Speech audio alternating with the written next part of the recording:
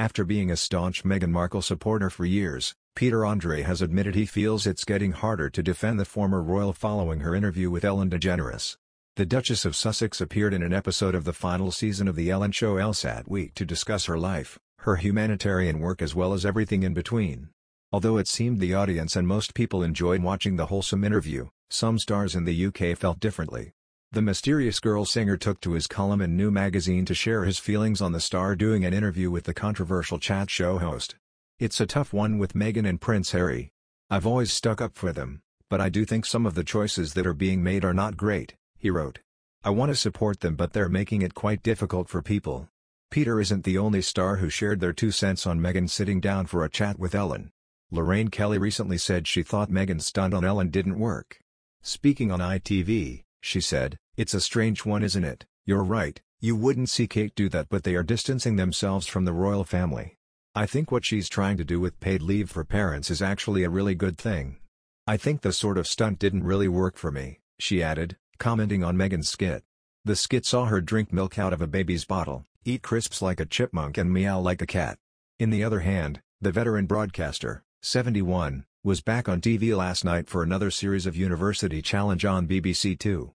The second round of the quiz competition continued as two more teams of university students battled it out in a bid to grab a quarter-final spot.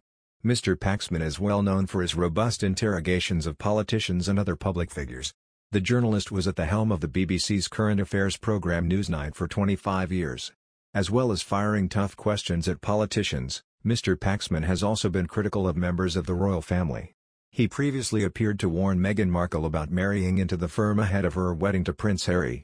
The journalist spoke for the documentary, The Royal Wives of Windsor on Netflix, released in May 2018, before Meghan and Harry tied the knot. He said, Every girl dreams of being a princess and actually I don't think you want to become a princess if you can avoid it. Other commentators also provided their opinions about how Meghan would slot into the royal family.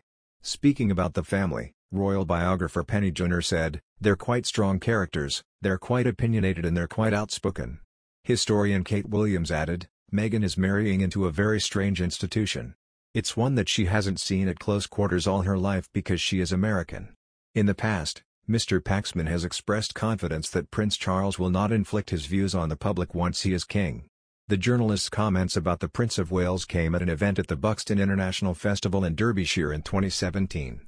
Mr. Paxman told a crowd he was a monarchist because it is better than any alternatives. He said, We'd have ended up with a president, Tony, Blair or something awful like that. I have had to come out as a monarchist now because I am one. He added, People say to me, but what about Prince Charles?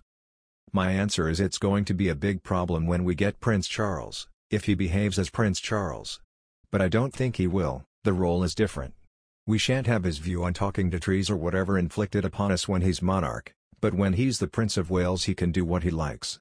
Charles has sparked major criticism in the past for appearing to lobby politicians on the environment, as well as for showing his support for controversial causes, such as his endorsement of homeopathy, Charles denied that he will be a meddling monarch when he was interviewed for the BBC documentary Prince, Son and Heir, Charles at 70 in 2018.